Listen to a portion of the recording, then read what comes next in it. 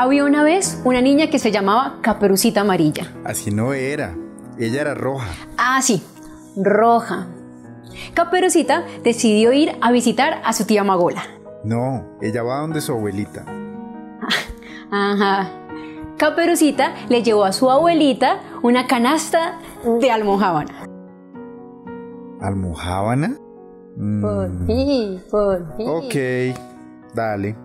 Y entonces Caperucita Amarilla, Roja, roja.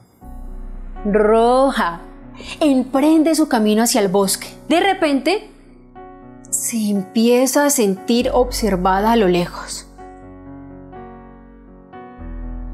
Y esto la hace sentir muy incómoda.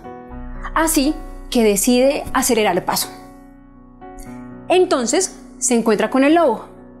Y el lobo le dice, Caperucita, ¿qué falda tan corta tienes? No, así no era. Además, ¿qué importa si era corto o no su falda? Ay, seguro iba de rumba, así toda arreglada y toda provocativa. No, ese día Caperucita se sentía feliz y quería verse bonita.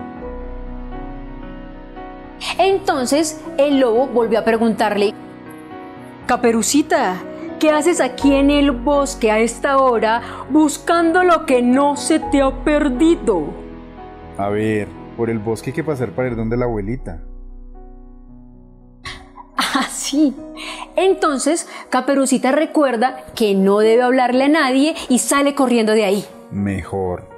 Cuando llega donde su abuelita, Caperucita le dice que tuvo mucho miedo de hablar con el lobo. Pero la abuelita le dice, ¿Será que usted le dio pie? Se puso de coqueta y después se anda quejando. ¿Qué? Increíble. es lo que toca aguantarnos y además no nos creen. Ay, no, tenaz.